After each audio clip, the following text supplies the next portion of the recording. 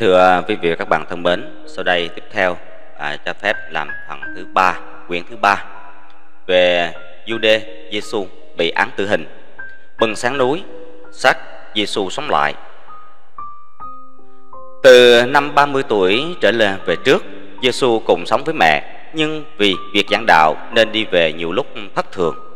Phép đạo của Giêsu phần nhiều chỉ thi hành được ở Egypto và Jude nhưng Jude là nơi Giêsu sinh ra thì dân chúng lại hung tận cứng đầu, khó mê hoặc hoặc bằng những điều trái lẽ. Cho nên à, Giêsu nhiều phen phải nhục nhã lấy làm căm giận lắm. Năm ấy Giêsu lên 31 tuổi. Một mình về truyền đạo ở Jude.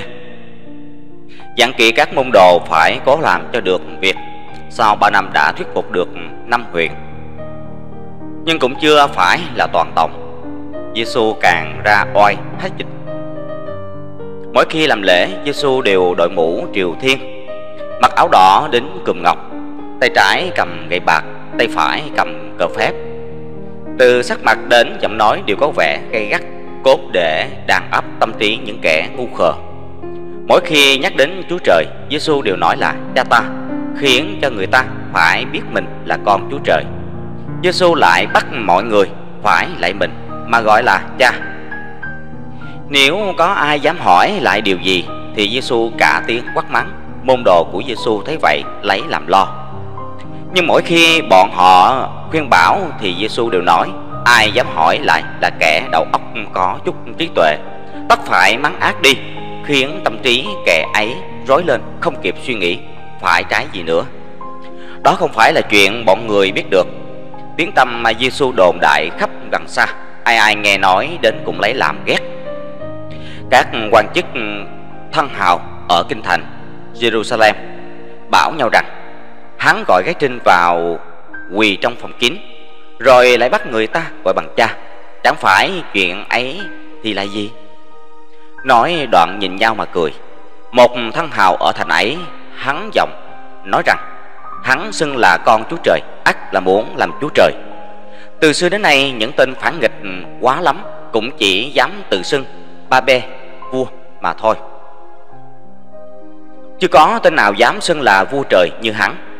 Xem bộ dạng thì biết hắn mưu đồ tiếm quỷ Chẳng còn nghi ngờ gì nữa.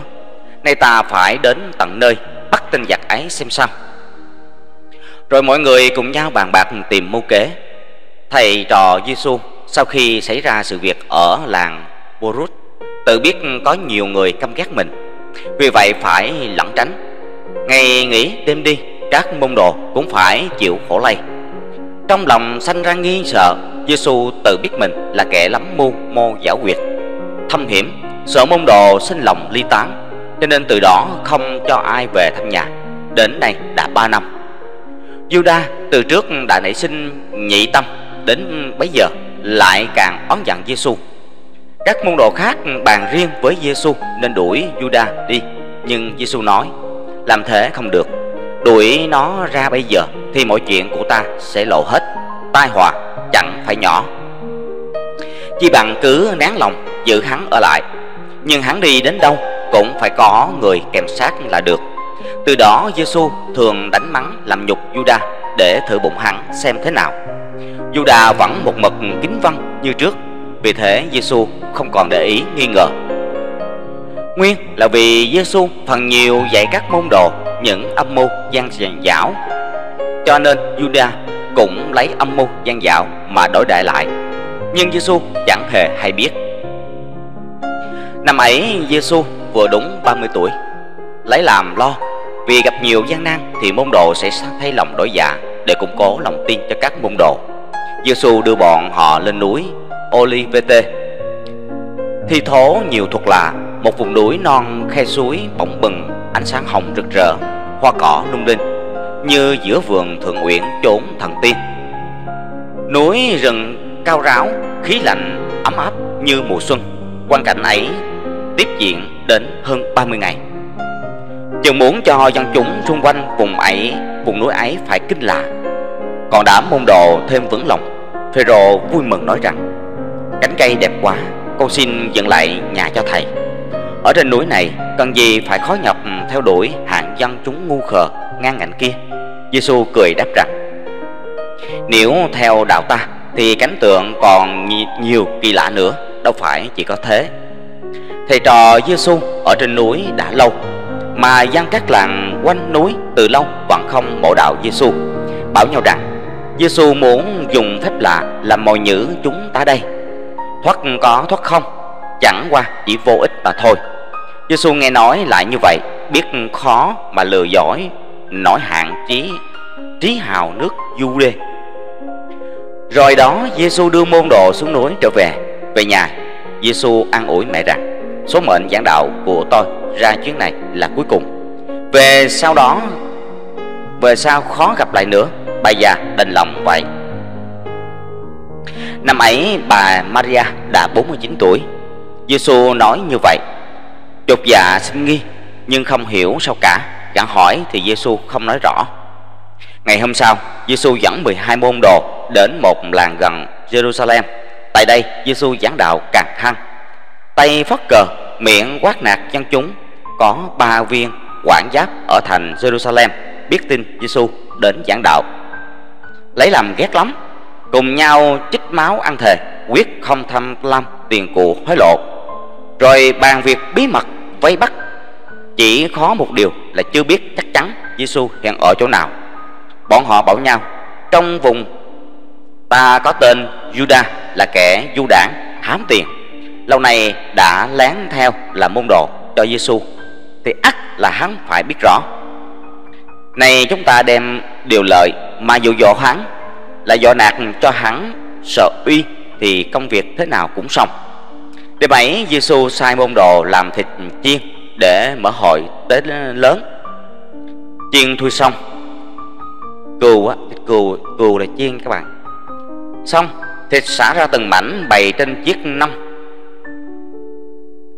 Giêsu chỉ dạy vào chỉ tay vào nông thịt bảo các môn đồ thân ta nay rồi cũng sẽ như vậy đấy các môn đồ thấy Giêsu nói gỡ ai nấy kinh cả, cả kinh. Các sách đạo của người Tây tuy nhiều Duy có hai sách thực lục và bí lục. Phần nhiều nói đúng sự thật. Đoạn văn trên đây nói Giêsu có phép lạ Biết trước sự việc sắp xảy ra Nhưng lại không thể tránh được tai họa Dường như có chỗ đáng ngờ. Như thế thì không thể nói là không có. Cứ xem à, trong sử Trung Quốc Có chuyện quách phát. Trước đoán trước được số bệnh của mình Mà cuối cùng cũng không tránh khỏi Bị thạch lặc làm hại ngay sự việc của Giêsu thì lời nói ngày trước của thầy cả Simeon cũng chính là lời nói tiên tri rồi vậy. Giêsu kiếp trước là sơn thần thì có lẽ cũng biết phép tiên tri. Điều đó không có gì lấy làm lạ lắm, nhưng mà phép ấy hết sức nghiêm mật, không thể cho biết quá rõ một ngày trước khi sự việc xảy ra. Điều ấy thì lạ thật. Juda, từ khi biết Giêsu đã làm nhiều việc can phạm, quốc cấm, thì ắt sẽ có ngày chuốc lấy tai họa. Sợ làm môn đồ của y lâu ngày, rồi cũng bị bị vạ lây. Vì vậy, Juda đã nghĩ trước mưu kế để giữ cho mình được yên thân. Đêm hôm ấy đang giữ đám hội, đang giữ đám hội, Juda lẻn trốn về nhà, lấy làm mừng vì được nghe bàn tán về âm mưu của ba viên quản giáp vừa lúc ấy có người nhà của quản giáp say đến gọi, Yuda lập tức đi ngay. Bao viên quản giáp bảo Yuda rằng, thầy ngươi là một tên tà nguyện ắt không được không được lâu, ngươi nên tính kế trước đi. Nay vì ngươi là dân trong bản hạt, nên chúng ta báo trước cho ngươi biết. Công việc chúng ta sắp xếp sai phái, đâu ra đấy cả rồi. Này cho ngươi ba chục đồng bạc hoa chỉ cần ngươi báo cho bọn ta biết Giêsu hiện ở chỗ nào. Xong, việc ngươi đứng ra làm chứng về mưu mô tím loạn của hắn. Tiền này, ba ta cấp cho ngươi làm kế sinh nhai. Còn như việc tố giác kẻ làm giặc thì ngươi còn được ban quan tước nữa. Có điều lễ nào hơn thế nữa? Juda nghe nói càng lấy làm mừng. Ba viên quản giáp lại nói, Đêm nay cử sự ắt phải bắt cho bằng được tên Giêsu. Nếu người không nghe lời bọn ta, Thì ngươi sẽ bị liên lụy đấy. Chớ trách bọn ta không cho biết sớm. Juda nói, cứ xem hắn. Ta áo mũ nghênh ngang. Công nhiên tụ tập dân chúng Thì chẳng bao lâu hắn sẽ làm giặc. Các quan hội họp ở đây thật có lòng tốt với tôi. Viên quản tri nói, Đồ đảng của hắn rất đông. Làm thế nào để nhận diện cho đúng hắn? Juda hẹn rằng, Khi các quan đến vây hắn, Thấy tôi hôn má ai Thì kẻ ấy chính là Giêsu.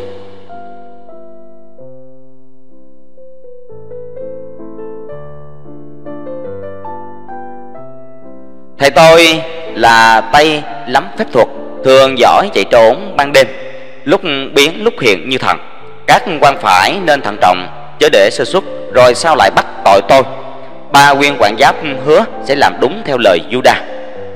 Juda nhận bạc rồi, Ngay đêm ấy trở về đám hội. Giêsu chột dạ bèn gọi các môn đồ họp lại mà bảo rằng, trong số các ngươi đây, có người bắn ta đấy. Môn đồ đưa mắt nhìn nhau, rồi theo lệ thường lần lượt quỳ xuống hôn chân Giêsu để bày tỏ lòng trung thành. Giêsu muốn dùng mưu thuật để chế ngự, bèn bảo môn đồ ngồi thành hai hàng, mỗi bên sáu người rồi đó Giêsu bưng chiếc chậu gỗ đựng nước lần lượt rửa chân cho từng người. Các môn đồ đều lấy làm lạ. Không dám giơ chân ra cho Giêsu rửa Giêsu một mực bảo rằng, các con cứ để thầy rửa cho. Như thế mới là có nghĩa với thầy. Phêrô nói, nếu để cho thầy rửa là có nghĩa, xin thầy cứ tắm luôn cả người cho con. Giêsu nói, không phải thế đâu, ta chỉ rửa làm dấu một chút là để các con nhớ mãi ơn thầy đến lúc ấy, các môn đồ mới thuận theo, đến lượt rửa cho Juda. Giêsu nhận thấy ở bàn chân y có triệu chứng bất an. Lấy làm ngờ lắm. Rồi đó Giêsu ngồi ghế chính, gọi môn đồ lại để truyền thụ đại pháp sanh ti cầm bút lông, ngẫm viết mấy chữ lớn, Sacramento. Rồi nói, lấy tấm lòng thành thật để mà hộ thân. Giữ linh hồn thì nuôi được khí, chí khí cứng mạnh các môn đồ ai nấy đều lĩnh thụ huấn pháp. Vì thế cho nên ngày nay có cuộc lễ gọi là lễ truyền phép.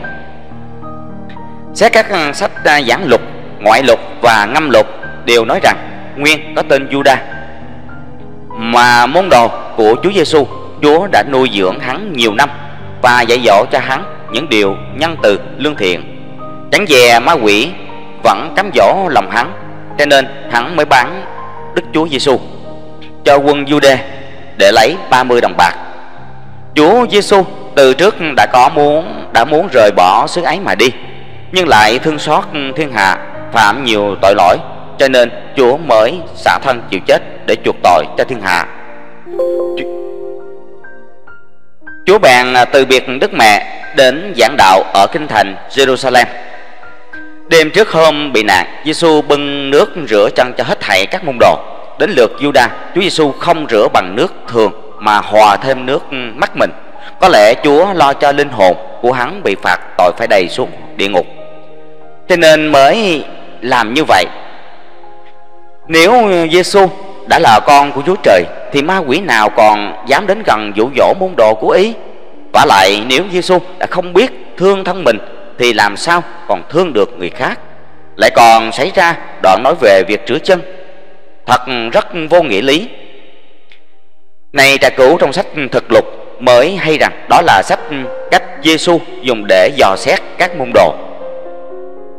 Để để người Tây Dương tôn Giêsu là con Chúa Trời. Sợ người ta ngờ rằng tại sao đã là con Chúa Trời Mà lại còn bị người bán Cho nên mỗi khi ghi chép việc ấy lại Phải đặt ra một cách giải thích để che lấp đi. Thật là nực cười. Chẳng hạn như nói rằng Giêsu chịu nạn là để chuộc tội cho thiên hạ. Theo lý mà suy Giêsu là con kẻ thợ mộc, Mà dám tím lễ, chế ra áo mũ đế vương nhận rằng là con Chúa Trời. Thế là phạm tội. Tội mình mình chịu, Sao lại bảo là tội của thiên hạ? Và lại quân lính nước Jude Há chẳng phải là người thiên hạ đó sao? Thế là Giêsu bị người thiên hạ hành hình Còn lại còn chuộc tội cho thiên hạ nào? Lại nói về phép sanh ti Sacramento Là điều răng lớn của Giêsu Mà chữ nghĩa rất lờ mờ, hiểm hóc. Ngày nay sách đạo của người Tây Dương đều giải thích rằng đó là phép nuôi giữ linh hồn cho thiên hạ, khiến cho thiên hạ được miễn tội. Đó là lời nói chê đầy những điều khác suy ra cũng có thể biết được. Giêsu truyền phép rửa chân xong chợt nghe xa xa có tiếng trống thúc và tiếng kèn loa. Rất gấp. Dân làng báo rằng không biết có việc gì mà rất nhiều quân lính kéo về bủa vây làng ta. Giêsu liền chọn ba môn đồ là Phêrô, Jack, Cô-bê và John đi theo mình, còn lại thì cho phân tán. Rồi đó Giêsu cùng bọn Phêrô ba người và thoát ra khỏi ẩn nấp ở trong một lùm cây rậm, thường gọi là vườn Gethsemane ở phía xa ngoài làng. Juda chạy theo sau, Giờ biết chỗ Giêsu trốn rồi lẻn ra ngoài báo cho viên quản giáp ừ, biết Bây giờ Giêsu quỳ bên tảng đá trong lùm cây cầu khấn Chúa Trời phù hộ cho thoát nạn. Bọn Phêrô sợ run như cày sấy, thấy vậy Giêsu bèn trổ phép lạ, cho mây mù đen kịch tỏa che khắp lùm cây, đứng cách gan tấc không trông thấy, khiến cho quân Jude rối loạn. Bỗng đầu thấy toán quân bí mật của ba nguyên quản giáp ập tới, tiếng trống tiếng càng in ỏi, bốn cây đuốc ừ, bốc sáng rực trời. Giêsu biết phép của mình không thiên. Sợ hãi vã mồ hôi như tắm. Ngoảnh lại nhìn mới hay bọn Phêrô đều đã tìm đường tẩu thoát một lát sau. Giêsu thấy Juda xách gậy chạy đến cứu Giêsu cả mừng tỏ lời an ủi. Vừa lúc đó hơn 10 tên lính chĩa gươm soi đuốc xông vào. Giêsu toan chạy trốn quân lính còn do dự, chưa biết ai là Giêsu Juda bèn sắn đến, ôm hôn lên má Giêsu lúc ấy các viên quản giáp cũng vừa tới nơi hô quân ập bắt. Bây giờ Giêsu mới biết Juda phản mình, đành phải chịu đứng yên. Ba viên quản giáp sắp tới, sĩ giáo dơ gươm tận mặt Giêsu quắt mắt quát lớn, chạy đằng trời. Giêsu thông dong, chịu nạn từ bấy giờ trở đi, sắc mặt bình thản như thường. Quân lính và tuần đinh xông vào bắt trói. Chiều trói xong Giêsu ngoảnh lại bảo Juda này Juda sao mi nhẫn tâm phản thầy? Juda đáp, theo thầy để học đạo chứ không phải theo thầy để làm việc xấu. Giêsu đành phải làm thinh. Hai sách giảng lục và ngâm lục nói rằng, đức chúa con, thấy thiên hạ mắc phải quá nhiều tội lỗi mà hồn dữ của tên Judah thì sẽ bị đầy xuống địa ngục trước nhất chúa giêsu bàn vào trong vườn Gethsemane đưa theo môn đồ cùng đi rồi Chúa Giêsu sụp quỳ cầu xin Thiên Chúa ba điều. Đang lúc cầu nguyện, ông thấy một vị thiên thần do Chúa Trời sai xuống an ủi rằng Chúa Trời đặt cách truyền mệnh cho một mình con phải chịu cực khổ để giải tội cho thiên hạ. Việc ấy đã định trước rồi, Chúa con phải dốc lòng, dốc một lòng, không nên quá lo sợ. Giêsu bèn quỳ dậy mà lĩnh mệnh. Sau đó vị thiên thần biến mất. Chào ôi, ngay đến con mình mà Chúa Trời cũng không thương yêu gì nữa Thì làm sao còn thương yêu đến người khác Lại ở sách ngoại lục chép rằng Lúc bấy giờ Chúa Trời cho hiện ra các thứ hình cụ Như dây trói bằng da Gông cùm, khóa sắt Để tỏ ý trừng phạt cho Chúa con trông thấy vì thế Đức Chúa con càng thêm run sợ. Chao ôi, Chúa Trời đối với người trong thiên hạ Có tội điều tha cho. Vậy mà sao lại làm khổ con mình như thế? Hai sách ngoại lục và ngâm lục còn chép, Chúa Giêsu nghe biết quân dữ đang kéo tới gần, Bèn ra đòn trước, Nghiêm hỏi rằng, Các ngươi tìm ai? Quân lính cũng to, cũng đáp to rằng, Tìm Giêsu ở Nazareth Giêsu quát đáp, Chính ta đây tiếng vang như sấm. Hơn hai chục quân lính, Cả đinh phu, đều khiếp sợ, ngã lăn. Nhưng Giêsu vẫn đứng yên, Lại ban cho bọn quần phu Và binh lính kia được đứng dậy, rồi lại quát hỏi to như đã nói trên. Binh lính cũng đáp lại như thế. Đến lúc đó Giêsu mới nộp mình cho quân Jude bắt đi. Cháu ôi Giêsu tụ tập bè đảng bị quan quân đến bắt. Xét theo lý là có điều khuất tất rồi, Vậy mà lại nói ban cho bọn quần tuần phu và binh lính kia được đứng dậy. Chẳng khác gì kẻ đang có quyền thế thiệt là vô lý quá chừng. Lại nói Giêsu tự nộp mình cho quân Giu-đê. Lúc ấy, dầu Giêsu không muốn nộp cũng chẳng được nào. Bà quyền quản giáp bắt được tên phiến loạn Giêsu bèn dẫn về giam ở nhà riêng. Sợ Giêsu trổ phép lạ, tẩu thoát. Bọn họ liền lấy dây thừng trói chặt cả 10 ngón tay đóng gông vào cổ và đặt người canh gác rất nghiêm ngặt. Giêsu thấy môn đồ chẳng có kẻ nào đến cứu mình. Nghĩ bụng càng thêm tức giận, chợt thấy Juda đem hết những thứ thực tích tan vật như áo mũ, cờ gậy đến nộp cho quản giáp. Viên quản giáp liền thu nhận để làm biên án. Giêsu thường à, ngày bị người ta căm ghét quá nhiều, nay bắt được y. Hết thảy tuần đinh và binh lính đều hạ hê đắc chí. Bọn họ lo sợ chỉ trói tay chưa đủ, bèn lấy xiềng sắt khóa vào cổ, dùng dây da trói cuộn từ mồm trở xuống hơn 30 vòng mà kéo đi. Giêsu bị kéo đi như thế suốt đêm, ngã dúi, ngã dụi đến 7 lần. Mỗi phen bị ngã, lại bị quân lính đạp bồi thêm. Lóp ngóp bò dậy, lại bị bọn chúng thúc, bao kiếm vào đít mà dục đi, cho nhanh. Kẻ thì à, khua đuốc, vung trước mặt. Kẻ à, cầm cả bó đuốc mà đánh sau lưng. Lại có tên túm tóc lôi đi, có tên vặt râu, cho đau đớn. Bấy giờ, đang giữa mùa đông rét căm căm khi qua sông, quân lính đi trên cầu. Thòng dây dắt bắt Giêsu lội qua dòng nước buốt mà đi. Quyên Quảng Ti cười bảo rằng, Còn Chúa Trời thì sợ rét gì? Đến khi trời sáng quan ty ra lệnh đem biêu ngoài điểm trạm để cho dân chúng xem. Trăm người đều chỉ mặt Giêsu mà mắng chửi lột hết quần áo bắt y phải ngồi à, so trần truồng. Có người biêu riếu rằng Lạy tôn sư Xin tôn sư truyền cho con phép diệu. Có người chỉ tay mắng rằng Nghe nói mi cắt đầu Ngọc Hành Rồi mà sao còn kham nổi hơn trăm gái tơ. Có người nói, Tôi cũng muốn nghe người ta nói, Hắn cắt đầu. Nay mới tin là thật. Có người cười mà bảo, Đó mới đúng là phép lễ riêng kỳ diệu. Có kẻ lại nói, Mi nói đất vắt ra ngươi, ra người. Sao mi không bảo vắt cái ấy của mi cho to thêm chút nữa? Bây giờ môn đồ của Giêsu bỏ trốn cả. Duy có Phêrô còn ẩn lại nghe ngóng.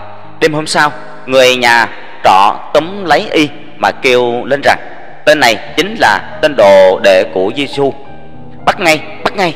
Phêrô sợ cuốn Liếu lưỡi chối rằng Thật tôi từ bé chẳng biết người ấy là ai. Người nhà trọ vặn hỏi ba lần Thì cả ba lần Phêrô đều chối phăng đi cả. Mọi người cũng phải nghi là nhầm. Là lúc ấy Giêsu nghe tiếng xung xao bên ngoài quay ra nhìn thì thấy Phêrô.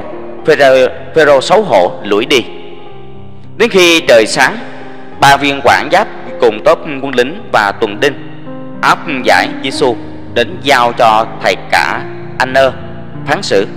Anơ là bố vợ của quản giáp mà Cai Pha. Thầy cả Anơ nói, mi là hạng người nào mà dám tự xưng là thầy cả? Lại còn tìm cách mê hoặc chân chúng thật là can phạm phép nước. Huống chi còn tụ tập chân chúng làm nhiều việc quái ác khác nữa. Giêsu im lặng không đáp câu nào. Các viên quản giáp cùng quân lính tuần đinh đều đồng thanh nói, chẳng những thế, hắn còn tự xưng là con chúa trời, giáng thế nữa. Anh nè nghe nói bất giác nổi sung, cả tiếng mắng rằng, tự xưng là con chúa trời, tức là muốn làm chúa trời. Thật rất ngạo mạn, phải mau kết án để giết thăng đi. Rồi đó quản giáp dẫn Juda đến làm nhân chứng tố cáo tội trạng tím nguy của Giêsu. Juda khai hết mọi việc. Giêsu họp dân chúng ở những nơi nào, đứng phát cờ ở chỗ nào, vân vân. Viên quản giáp cứ theo thứ tự ghi lại cả. Thầy cả anh em liền thưởng cho Juda ba tấm áo rồi tha cho về. Sách ngoại lục chấp rằng Lúc bấy giờ quân Jude xỏ tay vào cái bao bằng sắt Mà tác vào má Giêsu mỗi bên 10 cái. Mỗi lần tác lại nói, chớ tự xưng bậy bạ. Thế nhưng có cái bao nào mà lại làm bằng sắt? Lại để điều là khoa trương để nói Giêsu chịu nạn thảm thiết. Những chuyện tiếp theo tiếp sau cũng như vậy cả, Không có gì đáng tin. Sách à, ấy lại nói Juda thực tâm không định bán Giêsu nhưng vì thấy Đức Chúa con lắm phép thuật biến hiện kỳ lạ chắc hai chắc chẳng ai bắt nổi nên giả vờ bảo cho quân Jude biết để lấy tiền xài. Giuđa tưởng rằng khi quân Jude kéo đến thì Giêsu tất phải làm phép biến hóa mà trốn đi. Khi ấy mình đã nhận tiền rồi, chẳng lẽ bọn chúng đòi lại hay sao? Đến khi thấy Giêsu thông dong dịu nạn, chẳng làm phép biến hóa trốn tránh, Juda lấy làm hối hận, biết mình mắc phải mắc tội phản đạo bán thầy. Bèn tự cắt cổ mà chết. Chao ôi, nếu Juda là người xem nhẹ mạng sống của mình biết hối hận và tự ải như thế thì chắc là y đã không tham tiền để đến nỗi phải bán thầy sách ấy lại nói rằng phêrô về sau mỗi khi trời sáng nghe cà gáy lại nghĩ đến tội lỗi của mình đấm tay vào ngực đau đớn mà khóc lóc thảm thiết chúa trời khen phêrô là người biết hối lỗi, đến khi chết vẫn cho phép lên thiên đường. Về sau người ta cũng theo cách đó mà xét đoán rằng kẻ tự sát cũng có tội như kẻ giết người. Cho nên về sau, khi thánh phêrô được lên thiên đường, còn juda thì không được lên thiên đường, thật là vô lý, nực cười. Lại nữa, cả ba sách ngoại lục, giảng lục và ngâm lục đều nói rằng đêm hôm Giêsu bị dẫn về nhà Anne Phêrô xông vào cứu nạn cho thầy. Vung đao chém một tên đạo trưởng bị thương ở bên tai. Giêsu bèn mắng Phêrô, không cho Phêrô cứu mình mà phải lo chạy chữa cho người bị thương. Phêrô tìm mà thuốc băng bó cho người khi xong xuôi đầu đẩy rồi mới ra đi. Theo lẽ mà suy, thì dân chúng đều cho thầy trò Giêsu là những tên giặc phạm tội. Đang lúc quan quân dân bình, canh phòng cẩn mật Phêrô làm sao mà lọt vào được? Giả sử có vào được cũng phải có nhiều người. Huống chi là chỉ một mình chống chọi với cả trăm người lính. Trăm người thì làm sao mà vào cho nổi? Phêrô đã chém người bị thương. Lẽ nào quân lính lại điềm nhiên để yên, Không bắt gông cả thầy trò Mà lại còn để cho ông Phêrô thông dong cứu chữa? Mà kẻ bị thương há lại chịu nằm yên Cho Phêrô băng bó hay sao? Những chuyện bịa tạc ấy Chính là do vua tôi.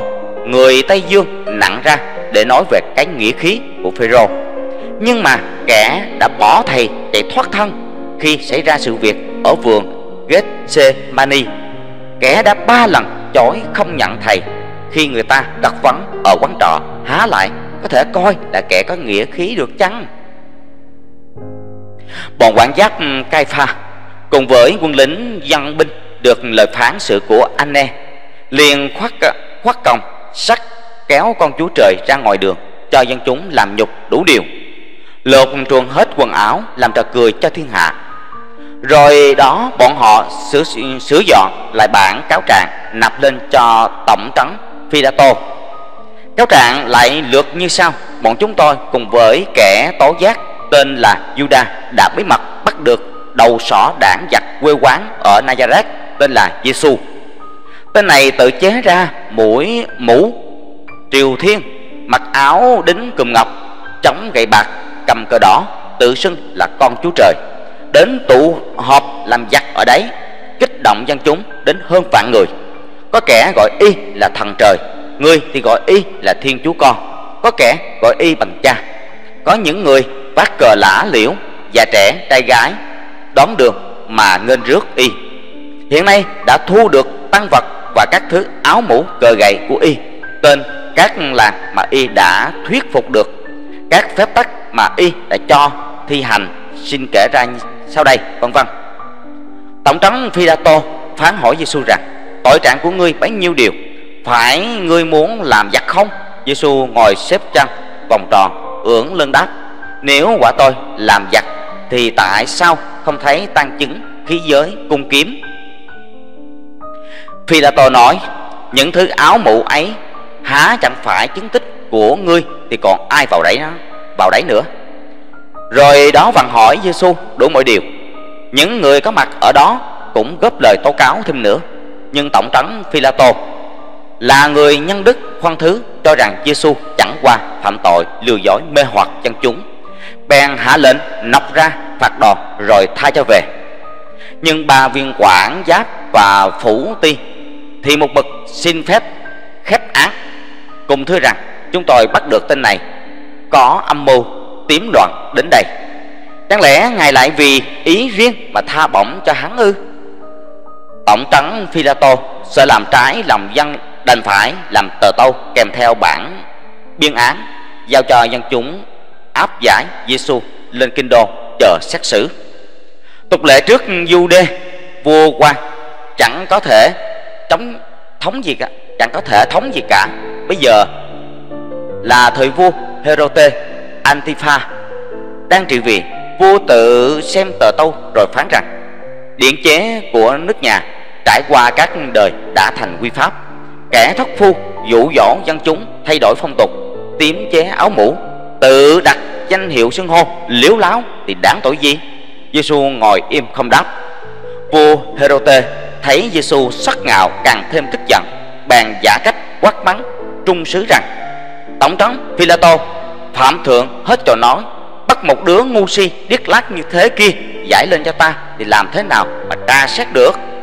Tiếp đó vua truyền rằng, hắn là kẻ điếc thì cứ cho mặc áo trắng, rồi giao trả về cho ban quản trắng rồi vua gọi sứ giả vào căn dặn mật chỉ. Sứ giả nghe xong, lạy chào lui ra, áp điệu Giêsu trả về cho tổng trấn Philato xét hỏi lại theo quốc sử của nước ờ, Jude thì Giêsu tự làm ra xe lọng tím làm nghi lễ thiên tử. Thi hành các lễ phép ừ, hồng thay đổi phong tục trong nước. Triều đình biết chuyện, đã xuống mặt lệnh cho các quan trắng quan phủ truy lùng truy lùng, gắt gao đến khi bắt được y, vua Herote. Và các triều thần muốn xem mặt mũi Giêsu thế nào và truyền áp giải về kinh đô tuy việc này không thấy ghi trong thực thực lục, nhưng sử ký trước sử ký sử ký nước Jude chép như thế có thể tin được. Có lẽ môn đồ của Giêsu không biết việc triều đình hạ lệnh lùng bắt khắp nơi, cho nên không ghi vào thực lục chăng? Theo hai sách ngoại lục và gián lục thì nói Giêsu biết chuyện vua Herote Antifa, bắt cả chị em, con cô con cậu đưa vào hậu cung làm tỳ thiếp cho nên khinh ghét mà không trả lời. Theo lý mà suy thì Herote là vua Giêsu là tinh giặc. Sao lại có thể nói là Giêsu ghét vua Herote những sự việc hỏi đến Giêsu đều có phạm vào cả. Giả sử có trả lời, thì Giêsu cũng khó nói cho xuôi được. Vì vậy, người Tây Dương viết ra đoạn nào lại tìm cách che đậy đoạn ấy để người đời sau khỏi ngờ. Bây giờ trong điện vua của vua Herote bỗng có tiếng nói vang lên. Kẻ mà ngươi đang buộc tội kia ngày sau sẽ phán xét ngươi. Theo lý mà suy thì, thì nếu có tiếng nói như thế thật thì vua Herote hắn hắn đã sai người tìm kiếm cho ra kẻ vừa nói câu ấy. Nếu đã tìm kiếm mà không thấy thì hắn phải kính là lạ xuống dưới thêm mà vái rằng Giêsu rồi. Há lại còn phải giao về cho ban quản trắng xét hỏi nữa những lời lẽ ngu dằn lắc léo như thế thật là quá quắc. Vậy mà những kẻ ngu khờ chẳng biết phân biệt. Quan quân áp giải Giêsu về trắng dọc đường quân lính đua nhau vung roi vuốt giày mà đánh chân chát vào mặt Giêsu tổng trắng Philato thấy Giêsu mặc áo trắng thì biết ý, vua ngầm bảo phải giết Giêsu đến khi mở xem mật chỉ, thấy viết rằng, tên này vào giữa sân triều vẫn còn kiêu ngạo, thì khi ở ngoài thế nào cũng đủ biết muốn giết hay tha, chỉ cần hỏi ý nguyện của dân chúng, cho khanh được tùy nghi xử trí, không cần phải tâu lại nữa. Hôm sau, vừa gặp ngày lễ chúa trời đầu tuần, tục lệ nước này cứ vào ngày chủ nhật chọn tha cho một người tù tội nhẹ. Bây giờ có một kẻ can án ăn cướp, tên là Baraba tổng trấn Philato đã đem cả Baraba và Giêsu ra khỏi, ra hỏi dân chúng rằng, hoặc là Giêsu hoặc là Baraba, các người muốn tha tội cho kẻ nào? Dân chúng đồng thanh đáp, Baraba chẳng qua chỉ giết hại một hai người Giêsu thì làm hại cả một nước. Nếu muốn cứu à, một người thì xin quan tha cho Baraba, còn tên Giêsu thì nên giết. Pilato thấy lòng dân căm ghét Giêsu còn sâu sắc hơn đối với tên ăn cướp. Nếu tha bổng cho y sợ y dân sợ dân chúng lại tâu lên vua lần nữa thì mình mắc tội. Nghĩ vậy Pilato bèn sai một cơ lính gồm 666 tên. Lôi Giêsu ra thay nhau mà đánh cho thỏa ý dân. Thế là binh lính cùng dân chúng ai nấy đều sắn áo so tay Kéo Giêsu ra giữa chợ Tháo gông, trói quặt chân tay và một cục đá. Trói xong, Đám đông hò reo, Nay thì mi được chết, Nay thì mi được chết. Rồi súng nhau vào hô đánh. Đầu tiên một người đánh, Lần thứ hai hai người cùng đánh, Lần thứ ba ba người cùng đánh, vân vân. Giêsu vốn là kẻ to béo, Da thịt dày dặn, rắn chắc, Chịu đòn một ngày vẫn chưa hề gì.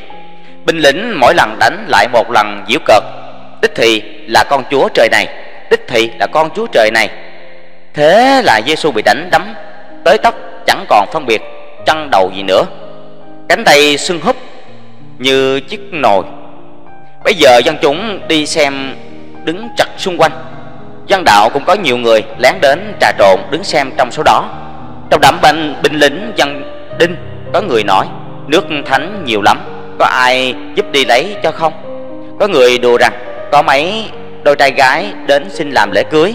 Có người không lưng, Thưa rằng, kính xin à, tôn sư làm lễ cô phi ma xong cho con à.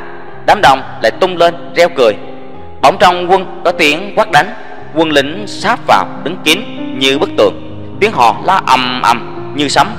Đứng ngoài chỉ thấy đầu roi rít gió quất xuống đen đen đét. Chỉ trong chốc lát, toàn thân Giêsu máu me đầm đìa, Vết roi lằn kín khắp lưng. Cả đội lính thay nhau đánh mỏi tay, Rồi nghỉ sức giữa chợ. Bọn họ cởi trói tha cho Giêsu được ngồi. Giờ chỉ thấy máu me bê bết đầy thân Nôm chẳng nhận ra hình thù Giêsu khi trước nữa.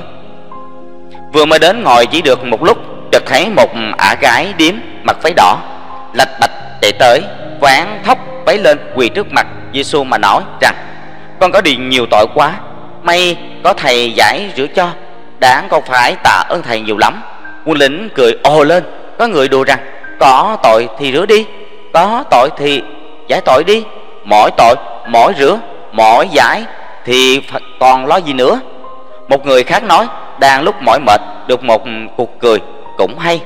Lúc đó có viên quan úy đội khăn đỏ ngồi trên ghế nói đùa rằng, Nghe nói mi có tài giải tội, Bây giờ hãy giải cho con này một giải Để chúng ông xem thế nào. Phong tục mà nước Jude nói năng chẳng kiên dè gì cả.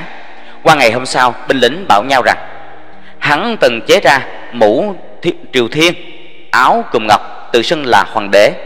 Nay ta sẽ đội mũ, mặc áo cho hắn xem sao. Nói đoạn, bọn họ lấy gai nhọn, Cắm vào sợi dây thừng Tất cả 72 que gai Quấn vòng xung quanh, Chụp bờm lên tóc, Rồi lấy búa Đóng cho gai nhọn cắm vào chặt vào đầu Giêsu Bảo rằng mũ triều thiên của mi Phải làm như thế mới đẹp. Rồi đó Bọn chúng lại khoác còng sắt vào cổ Giêsu Trói khoanh hai tay vào dưới ngực Bắt ngồi bệt xuống đất. Rồi đó bọn họ lấy mảnh vải trắng trùm lên đầu Giêsu, lột chiếc váy đỏ của ả gái đỉ Alina trùm lên vai Giêsu mà nói: "Chiếc hồng bào này sẽ cũng đẹp lắm, đẹp đấy." Có người nói tiếp: "Ảo liên châu của mi như thế đẹp chưa?" Tiếp ừ, đó lại có người lấy một ừ, que cây nhọn nhát vào tay cho Giêsu mà bảo rằng: "Rìu búa của vua phải như thế mới đúng." Ăn mặc ừ, làm cho ăn mặc làm dáng cho Giêsu Giêsu xong binh lính giả bộ quỳ trước mặt đi mà bảo nhạo rằng kính tàu quốc vương nước Jude dứt lời bèn tháo giày, cầm tay mà vụt tới tấp vào Giêsu tiếp không biết bao nhiêu mà kể.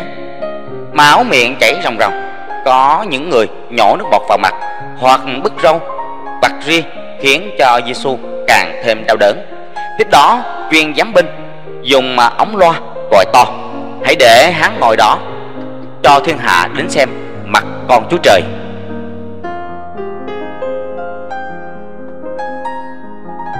Dân chúng xa gần lâu nay nghiến răng căm ghét Giêsu tận xương Bây giờ cùng nhau kéo đến nhà giám ti, đồng thanh thưa rằng, Các quan binh đã được thỏa chí Vậy cũng xin cho dân chúng tôi được há lòng. Viên giám ti căn dặn rằng, Làm cho hắn biết nhục thì được, Chứ không được đánh nữa. Đám đồng đồng thanh dạ ra, hứa hẹn rồi lui ra, kéo đến chỗ Giêsu đang ngồi. Bọn họ lần lượt thuật hết thuật các phép đạo của Giêsu biêu riếu, sách đến trước mặt Giêsu một vò nước tiểu mà bảo rằng nước phép của mi đây, nước phép của mi đây, hãy uống cho hết nước phép của mi đi. Nói đoạn, bọn họ đổ nước tiểu vào mồm mặt Giêsu, toàn thân Giêsu ướt dầm, buốt xót đau đớn. Có người bưng cức đến nói rằng nay phải cho mi được ăn bánh phép nói đoạn nhét phân vào mồm Giêsu lại có người xúc cất đổ hết trên đầu Giêsu mà nói, để ta làm phép công phi ma xong cho mi. Dân chúng mà đứng xem, reo cười, khoái trá. Hết người này đến người khác đọc các câu niệm phép của Giêsu có điều là vừa đọc, vừa chen vào những câu khôi hài. Có người nói phép matrimonial đây là lạ lắm lạ lắm. Xưa nay chưa có ai biết cách dạy nam nữ động phòng như mi. Có người cười nói vậy chuyện trong chốn buồn thê biết đâu là hắn ta lại làm nước trước chuyện ấy. Thế là đám đông xúm lại, vả vào mặt Giêsu nghiến răng mà đáp, mà đánh đập. Lại nữa, thường ngày Giêsu vẫn khuyên rằng người ta không nên dâm dục, bảo bộ phận sinh dục của người ta là cái cục tội. Đến bây giờ có người hỏi Giêsu Sao mi không cắt ừ, hẳn cái cục tội của mi đi? Lại mắng rằng không có cái cục tội ấy Thì làm gì có mi?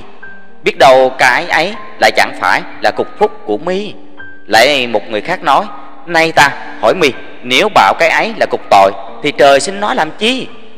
Có người phú hào Ở thị trấn giả cách an ủi Giêsu Mà nói rằng, Thật tội nghiệp, tội của ngươi thì mi giải cho. Đến tội của tội của người thì mi giải cho, đến tội của mi thì chẳng có ai chịu giải. Này, nếu mi bảo được hai đứa gái trinh bên dân đạo chịu về với ta, thì ta sẽ giải tội cho mi.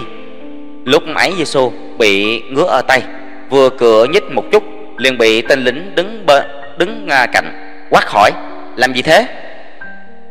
Đám tuần đinh ùa reo, hắn làm phép công phi ba xong để cầu thọ cho ông tránh ấy.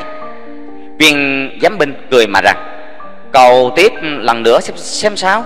Giêsu chỉ ngồi im chịu nhục không dám nhúc nhích động cửa. Sau trận đòn quân lính cho giêsu thay áo.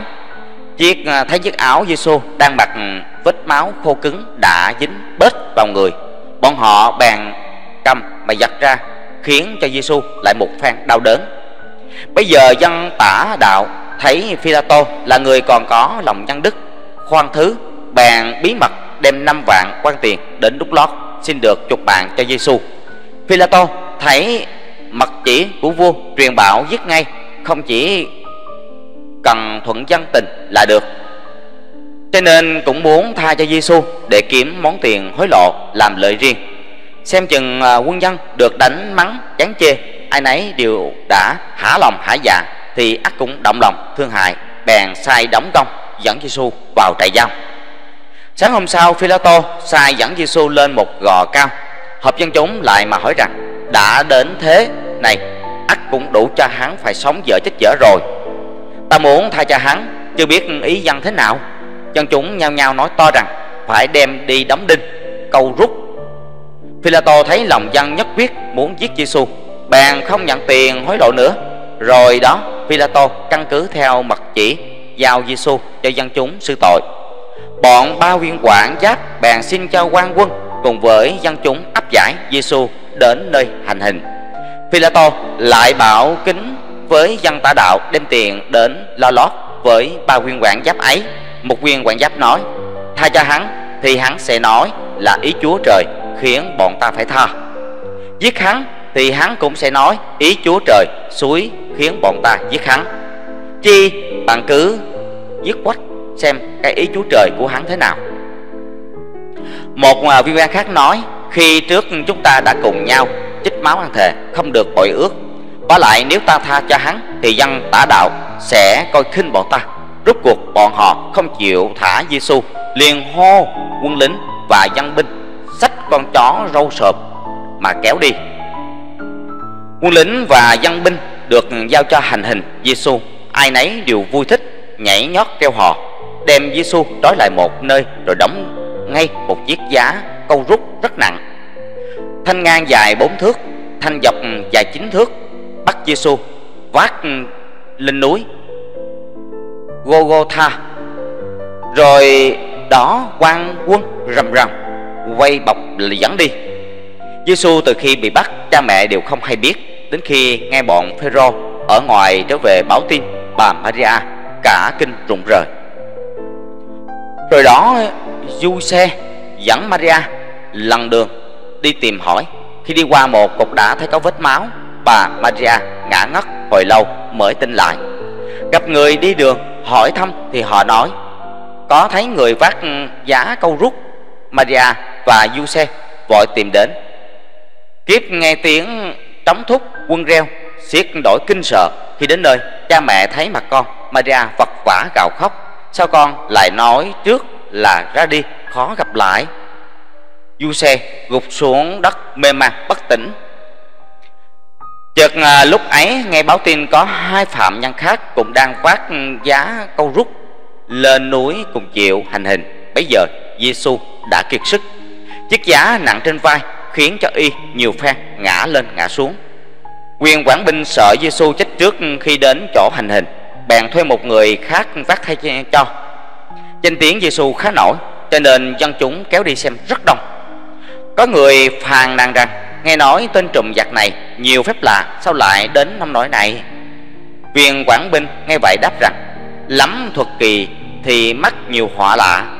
Đến đây rồi cũng phải, cũng có phép lạ đấy giêsu ngoái đầu lại nói, ta chỉ thương cho con cháu các ngươi, ngày sau rồi phải khốn khổ. Quân lính cười rộ mà đáp rằng, chỉ biết cái khốn ngày nay, ai hỏi mi cái khốn mai sau? Mi bể mép lừa người thì chung cục phải như thế.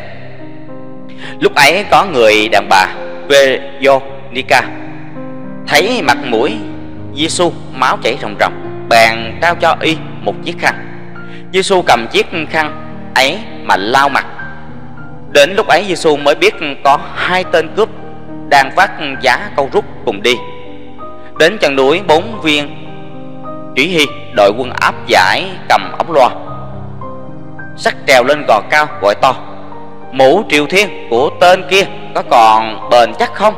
Quân lính lập tức lấy vòng gai một lần nữa, đóng chặt vào đầu Giêsu rồi đáp to. Còn chắc lắm Giêsu đau đớn gào lên như bò rống Đám đông người xem cười rộ cả. Rồi đó bọn họ lấy rượu hòa với mật đắng, bắt Giêsu uống cho trương giãn các mạch máu, lột truồng hết quần áo, rồi đè ngửa lên giá câu rút, là cái thạch giá bây giờ đó. Trước hết lấy đinh đóng vào tay trái Giêsu còn tay phải thì trói bằng dây thừng, kéo căng đóng vào lỗ đinh. Vì thế thịt da ở ngực rách toát ra. Tiếp đó lại trói hai chân, cũng kéo căng dây mà đóng. Da thịt ở lưng, bụng lại toát ra. Lúc trước Giêsu bắt người ta đọc kinh đến cuối mỗi đoạn lại niệm Amen. Nay quân lính cũng theo cách ấy, mỗi khi đóng xong một cây đinh cũng nói Amen mà cười. Rồi đó bọn chúng lấy một miếng ván để lấy chữ Giêsu ở Nazareth tím xưng làm vua nước Jude bị đóng đinh trèo giá câu rút. Đoạn quân sĩ lật úp ừ, thánh giá câu rút, lấy rìu phạt đứt các đầu đinh lòi ra, rồi cứ thế mà kéo sình sệt lên núi. Giêsu bị đè dưới chiếc giá gỗ nặng, lại bị đất đá mài sát, da thịt tróc nát tận xương. Tới nơi quân lính liền đào hố chôn cột trên mỏm núi. Cả ba giá câu rút đều đã dựng chỉ riêng Giêsu đầu cắm mũ gai thân thể trần truồng rồng rồng máu ứa. Dân chúng còn nhìn lên mà chửi rủa nay thì thật sướng cái thân mi sướng thân mi. Có người có, có người cất tiếng hỏi dân đạo đâu? Sao không thấy ai đeo cho thầy cả một mảnh khố? Mọi người cười rang vang núi. Hai sách ngoại lục mà quyển 7 và ngâm lục quyển 5 đều chép rằng bây giờ giá treo hai tên cướp ở một bên phải, một ở một ở bên trái. Giá của Giêsu trồng chính giữa. Tên cướp phía bên trái nói, nếu ông là con Chúa Trời thì sao không tự cứu lấy mình? Và cứu cho chúng tôi một thể. Tên cướp phía bên phải hỏi, nói, chúng tôi tội nặng mới phải chịu khổ cực thế này. Còn ông làm sao mà đến nỗi bị dân chúng chê cười, khinh bỉ như thế? Nhân đó tên cướp ấy lại nói với Giêsu bao giờ lên thiên đường, ông hãy nhớ đến tôi với nhé. Giêsu ngoảnh lại bảo rằng, ngay hôm nay ta sẽ cho ngươi được cùng ta hiển vinh vui sướng. Hai sách nói trên chép lại rằng, bấy giờ là lúc nhục nhã nhất cho thiên hạ. Chúa Giêsu bỗng hô to lên rằng, Đức Chúa Cha, sao nỡ để một mình con chịu khổ, Không kham đặng? Cầu nguyện Chúa Cha tha thứ cho mọi lỗi lầm của bọn chúng. Nhưng hai sách bí lục và thực lục Không thấy ghi chép việc ấy Đó chỉ là những lời lẽ màu mè của bọn rợ Tây Mỗi đoạn của một trang sức Vậy thôi Bây giờ bà Maria và Doan đứng gần bên Giêsu. Giêsu buồn rầu nói rằng: "Thưa bà, từ nay về sau, Doan là con của bà." Lại nói với Doan: "Từ nay bà đây là mẹ của ngươi." Nghe Giêsu nói, bà Maria càng bội phần đau xót. Lúc ấy bọn môn đồ của Giêsu đã theo đến dưới giá câu rút. Giêsu kiệt máu kêu khát. Du xe định đưa nước cho uống nhưng bị quân lính quát lại, chớ cho uống nước lâu chết phải cho uống giấm cho huyết xuất mạnh mau chết hơn rồi bọn họ lấy giấm đổ vào tổn ong rừng buộc vào buộc xào dơ lên cho uống Giêsu uống xong mới biết là giấm kêu to lên rằng, thế là hết việc ở thế gian. Giêsu nhìn xuống, thấy bà Mỹ ra đứng ở bên phải bèn gục đầu xuống phía ấy. Răng minh đã chết, đám đông quân lính và dân binh giơ tay lên trời liên tiếp kêu to, giải tội giải tội! Rồi cười vang, bây giờ vừa đúng giữa trưa, vùng núi trời mây u ám. Đến lúc ấy mới rạng lên Giêsu đã chết, thay treo trên giá cầu rút chợt có tiếng thống binh trong trắng tên là Đô Na Sức Đô Sa Nùng đang bực tức vì có việc quan phải đi ngay không kịp uống rượu. Lúc ấy đang vác giáo thúc giục phóng tới. Từ cổng thành đến đây chỉ hơn một dặm đường, vừa tới đô Sa nùng vội lên tiếng quát hỏi giêsu đã chết hay chưa? Quân sĩ đáp, đã chết rồi.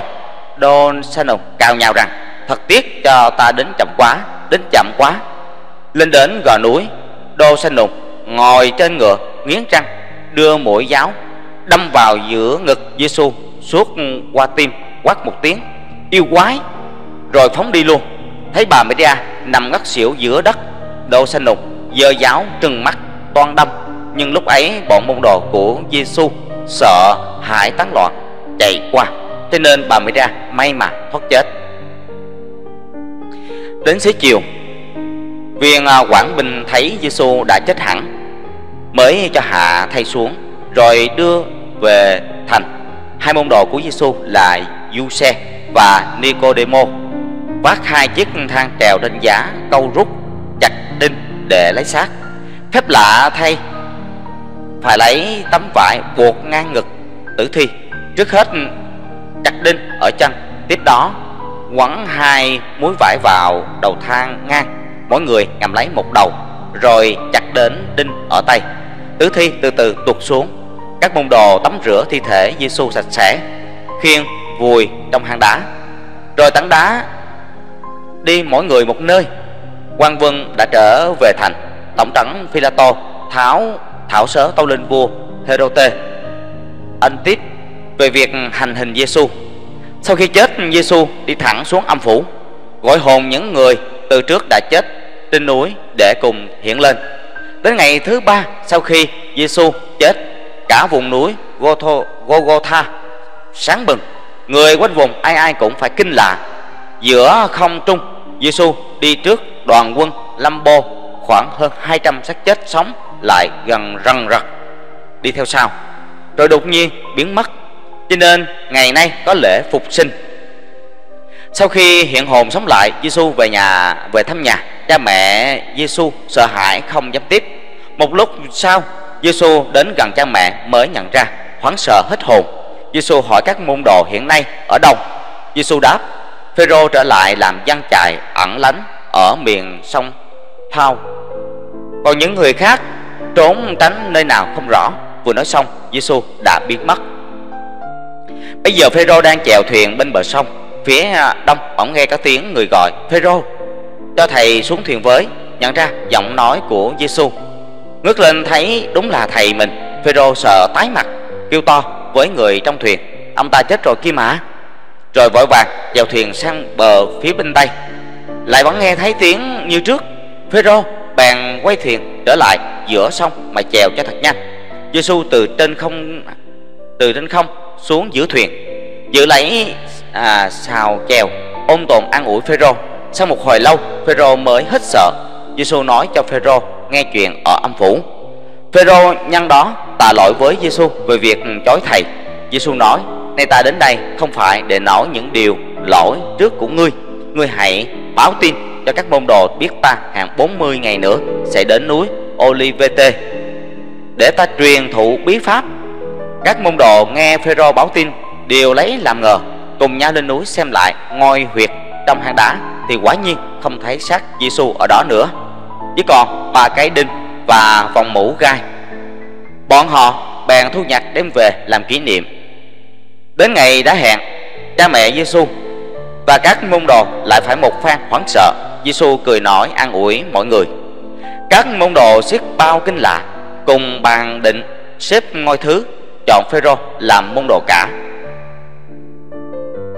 đó là cái chương à, cái quyển thứ à, quyển thứ ba. Quyển thứ ba đã hoàn tất nha. Xin cảm ơn quý vị các quý vị các bạn đã chú ý lắng nghe. Nó còn tới 7 phần nữa lần. À, và, và lần sau chắc như là mỗi tập đều là nó đều dài cả.